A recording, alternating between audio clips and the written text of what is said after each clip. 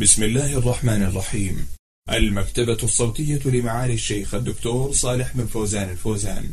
حلقات تبث في إذاعة القرآن الكريم. الدرس الثالث عشر. بسم الله الرحمن الرحيم. الحمد لله رب العالمين. والصلاة والسلام على نبينا محمد وعلى آله وأصحابه ومن تبعهم بإحسان إلى يوم الدين. وبعد. نواصل الحديث معكم أيها الإخوة المستمعون في موضوع الأحاديث القدسية. ونورد في حلقتنا هذه الحديث الذي رواه أبو داود وصححه وصححه الحاكم عن أبي هريرة رضي الله عنه. قال قال رسول الله صلى الله عليه وسلم قال الله تعالى أنا ثالث الشريكين ما لم يخن أحدهما صاحبه. فإذا خان خرجت من بينهما. الشركة بفتح الشين وكسر الراء وبكسر الشين مع سكون الراء هي لغة الاختلاط. وشرعا اجتماع في استحقاق أو تصرف. فالشركة في الاستحقاق هي ما يسمى بشركة الأملاك كثبوت ملك في عقار بين اثنين فأكثر بإرث ونحوه أو الاشتراك في استحقاق منفعة شيء دون عينه.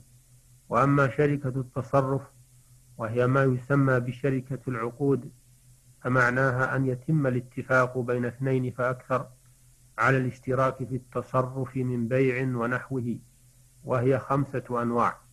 أحدها شركة عنان وهي أن يشترك اثنان فأكثر بالمال والعمل. ويكون لكل شريك قسط من الربح مشاع معلوم. والثاني شركة المضاربة وهي, وهي أن يكون المال من شخص والعمل من شخص آخر بأن يدفع ماله لمن يتجر به ببعض ربحه. والثالث, والثالث شركة الوجوه وهي أن يشترك اثنان فأكثر على أن يشتريا في ذمتيهما من غير أن يكون لهما مال فما ربحاه فهو بينهما على ما شرطاه. والرابع شركة الأبدان. وهي أن يشترك اثنان فأكثر فيما يكتسبان بأبدانهما من صناعة وحرفة ونحو ذلك فما رزق الله فهو بينهما على ما شرطاه. والخامس شركة المفاوضة. وهي أن يفوض كل منهما إلى صاحبه كل تصرف مالي وبدني من أنواع الشركة السابقة. بيعا وشراء ومضاربة إلى غير ذلك من التصرفات الجائزة والربح على ما شرطاه. هذه أقسام الشركة حسب ما ذكره فقهاؤنا رحمهم الله. وقد جدت في هذا في هذه العصور أنواع من الشركات منها ما هو جائز ومنها ما هو محرم. فمما هو جائز الشركات المساهمة في المشاريع كشركات الكهرباء والشركات الزراعية وشركات الصناعة والشركات المعمارية.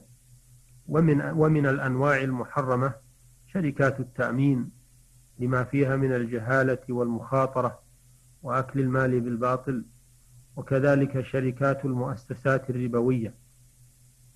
وأما الشركات الخالية من المحاذير الشرعية فهي جائزة بالكتاب والسنة والإجماع.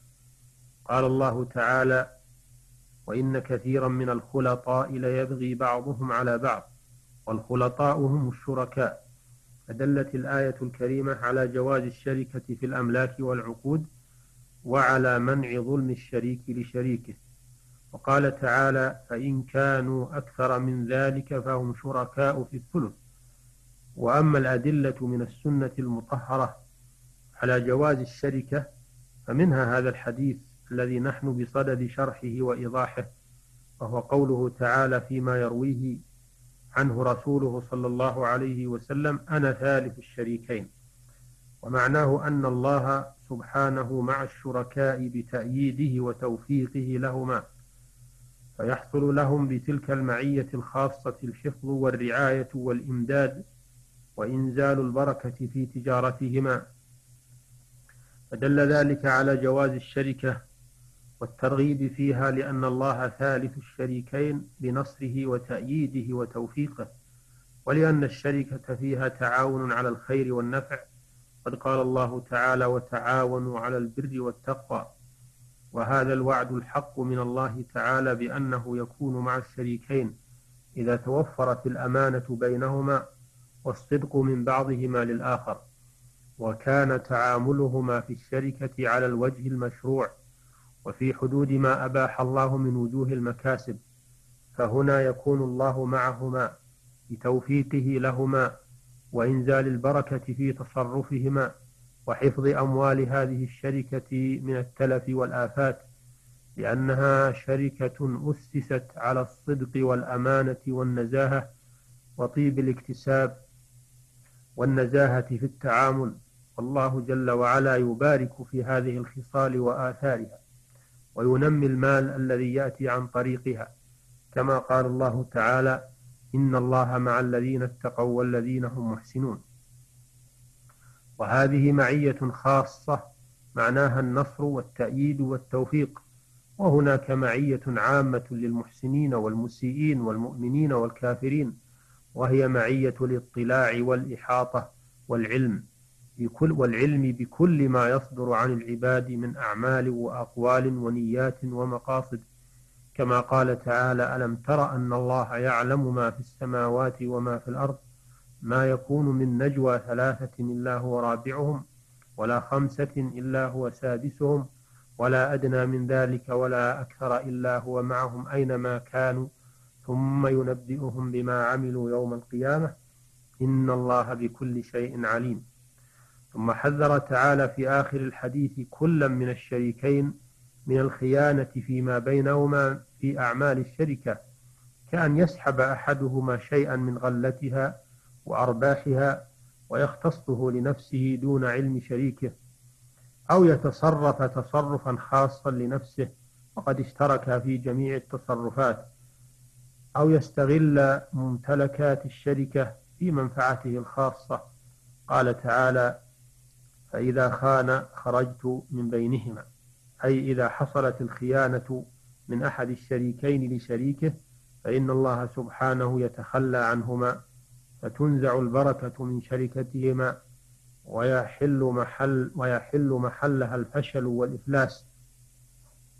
لأن الله تعالى إذا تخلى عن هذه الشركة ارتحلت عنها البركة وحل فيها الشيطان وجاءت معه كل الشرور والآفات. وذلك بسبب الخيانة فالجزاء من جنس العمل. فكم من شركات أفلست وانهارت وركبت أصحابها الديون والغرامات بسبب الخيانة من أحد الشركاء للآخرين إما بأكل حقوقهم ظلما وعدوانا وإما بعدم التورع عن إدخال الحرام في مال الشركة وإما بإهمال ممتلكات الشركة أو غير ذلك.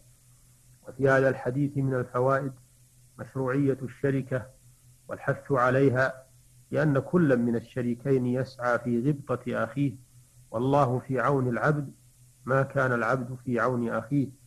وفيه حث الشركاء على التزام الأمانة فيما بينهم. الأمانة في تشغيل أعمال الشركة وفي حفظ منتجاتها وممتلكاتها وأرباحها وإعطاء كل ذي حق حقه. وذلك يؤثر على الشركة خيرا.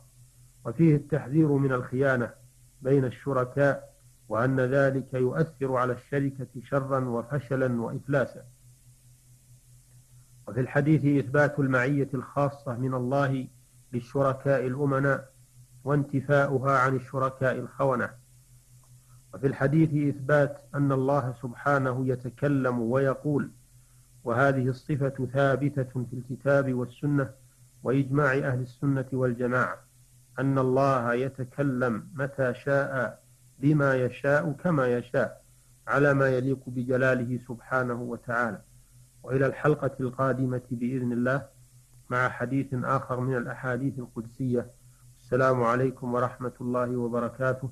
والحمد لله رب العالمين. وصلى الله وسلم على نبينا محمد وآله وصحبه.